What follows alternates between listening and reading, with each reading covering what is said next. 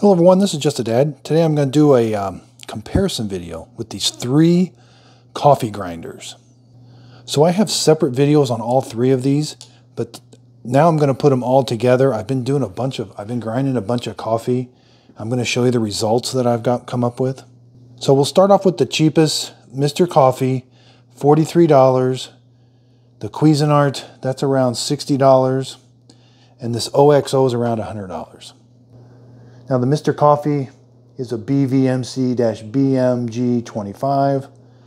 The Cuisinart, this is their Super Grind Burr Grinder. It's the DBM-8. And the OXO model number is 8717000. I was able to find this used on Amazon for 75. They've got this used on Amazon for around 50.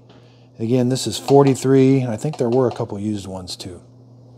So these two are like a flat burr grinder. This is a conical grinder. I'll tell you right now, I absolutely, I, I love this grinder. Uh, you just get so much more the more money you pay. But again, check out those individual videos on this. This one's the loudest. And this one I don't think did the best grind. So these two, the hoppers hold the same amount of coffee. This one holds a lot more coffee. This one's got a stainless steel I love this, this stainless steel um, that holds the coffee grounds. This eliminates a ton of the static electricity. My biggest complaint with, with these two was the amount of static electricity that builds up on these containers where you get the ground coffee. And they're just not the easiest to pour out of. This one ended up being, you can pour that right into your coffee maker. And then same with this one. I just, ended up making a kind of a mess with both of these. But these, you just end up with a lot of static electricity around and, and the coffee sticking to it and the lid. I guess you could have it come out, leave the lid on and, and kind of get it out that area. Okay, so I've taken these apart. Here's the burr grinders. See how these are kind of flat? This is the part that, that grinds the coffee. And same with down here on the Cuisinart. There's the other half of that Cuisinart that does the grinding. This is a conical burr grinder. See how that's like a cone? We can take this out and you can see it even better. Now they do say that the conical ones are better for like espresso and finer grinds, where these are better around the medium and coarse. But I found this one did a pretty good job with kind of all the settings. And it was the quietest of the bunch. So the controls, this one's a little different. This is, these are seconds. And you got to kind of play around with it to figure out how many seconds you, you figure out. And you press the button, that's what starts it. This is a, like a lever. And then once you find it, you got to start, you press the start button. And then there's off. But it, it stops automatically. And that corresponds to how many cups you're going to fix if you're doing a medium grind.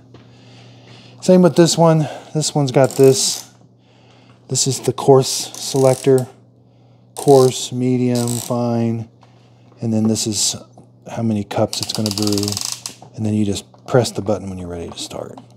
And it stops, all of them start and stop, automatic, stop automatically. They're kind of on a timer. They're just going to grind for a little while and then stop, corresponding to whenever the selector is. So the way you you select the coarse or grind, so there's fine. You got to turn the whole bean hopper that corresponds with that line. And the Cuisinart is the same way. I like how this rotates. This one rotates better than this one. This one is a little different. There's this knob. Again, they all start pressing the button, pressing the button, pressing the button. Okay, so I don't have much coffee, but let's try to do a grind with each one.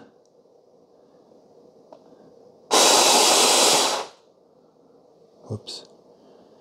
I need to set that a little bit more.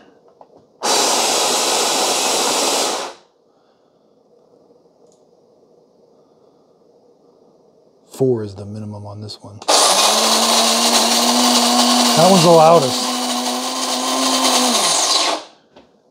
The loudest by far.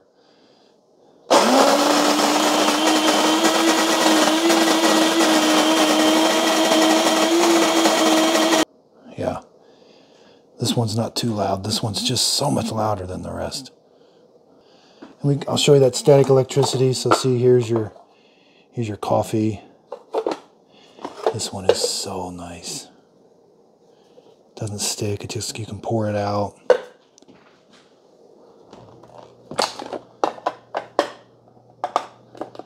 This one you end up with a bunch of static electricity.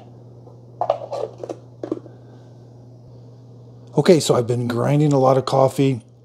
The good thing is I'm going to be able to save this coffee. I'll put it in a container and use it. But um, so I was thoroughly impressed with the OXO. So here was kind of like a medium coarse. Here's medium. Here's a medium fine. Just again, it really excels in the fine. I can tell that. The coarse, I can see where the coarse, it doesn't excel. Now it is coarse, but it does seem kind of choppy. Cuisinart, again, just super loud. Here's the coarse. More, e more uniform in the coarse area. Medium seemed okay. I don't think these do very well with the fine. And here we have the Mr. Coffee. The Mr. Coffee and the Cuisinart kind of in the same boat. Uh, the, the Cuisinart probably does a little better job at coarse. These kind of all seem the same. Not much distinction at all. But again, over here, the fines where this really excels. That's a very nice fine grind. And that was only a medium fine. The medium medium looks really well, but you are starting to get some inconsistencies. Here's the medium medium. It's got the same amount of inconsistencies as the Cuisinart. In the same amount as the Mr. Coffee. So definitely check out the used um, this one had, was used because it had a slight blemish. I forgot what the blemish was. Uh, it wasn't nothing too major. It didn't come in the original box, but I got the, they always try to include the, the instruction manual with it. And Mr. Coffee is sneaky. They, they hide their brush underneath the lid. I did my review and I didn't know the brush was there. So I would use the Mr. Coffee before I use the Cuisinart just because it's so loud. So these grinders are in preparation. I'll be doing some espresso machines.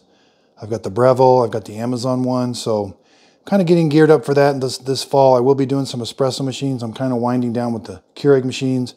There's a couple more Keurig machines coming out that I will be doing.